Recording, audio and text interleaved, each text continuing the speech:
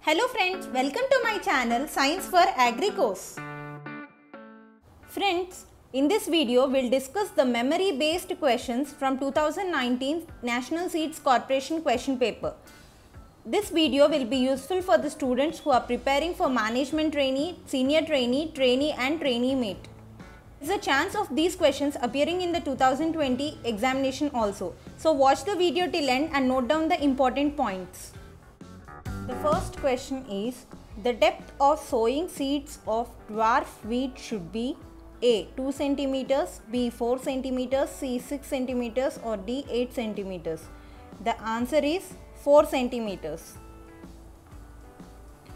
Next question the place of origin of pearl millet is A. Africa, B. USA, C. Canada or D. Japan. The answer is Africa. Next question. Time of transplanting Boro paddy is A. March, B. July, C. August, D. December. The answer is December. Next question. Scented variety of rice is A. IR24, B. Narendra 1, C. Saket 4, D. Kasturi. So the scented variety of rice is Kasturi. Next question. Kernel of groundnut contains oil percentage of A 20, B 32, C 48, D 64. The answer is kernel of groundnut has 48 percentage of oil. Sixth question. Optimum diameter of potato tuber for seed is dash centimeters. A 1.5, B 2.5, C 4.5, D 5.5. The answer is 2.5 centimeters. At least the diameter of potato tuber used for seed purpose should be of 2.5 centimeters.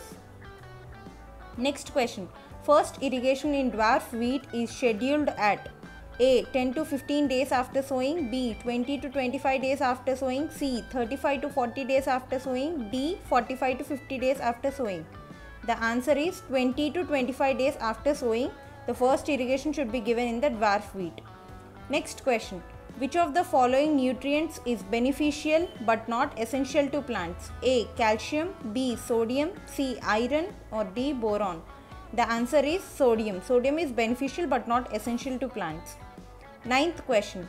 Plant nutrient increasing disease resistance in plants. A. Nitrogen, B. Phosphorus, C. Potassium or D. None of these. The answer is potassium increases disease resistance in plants. Next question. Soil structure appropriate for crop production is A. Columnar, B. Oblique, C. Granular or D. Compact. The answer is granular. Next question. Suitable day temperature for the growth of main rabi crops is A. 5 to 6 degrees centigrade, B. 6 to 8 degrees centigrade, C. 8 to 10 degrees centigrade, D. 27 to 29 degrees centigrade. The answer is 27 to 29 degrees centigrade is the suitable day temperature for the growth of main rabi crops.